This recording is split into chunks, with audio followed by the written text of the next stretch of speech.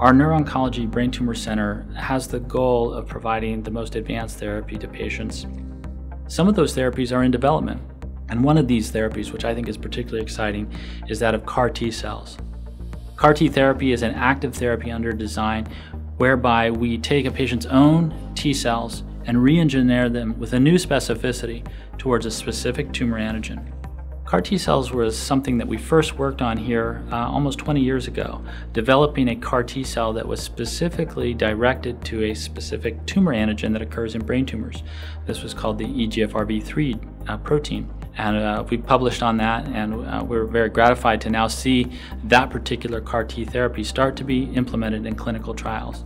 The confluence of genetic sequencing and our increased understanding of the genetics of brain tumors, as well as new ways that we can manipulate the genome and develop experimental gene transfer into T cells, has allowed this therapy to come to life.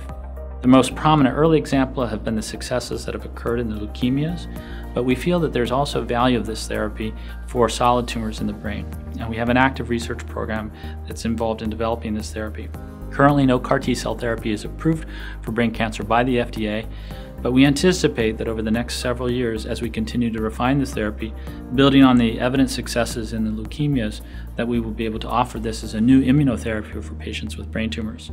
And that's part of being a brain tumor center, where we bring cutting edge therapies that are not quite ready uh, for active use, but are in development in our laboratories here at the Mass General.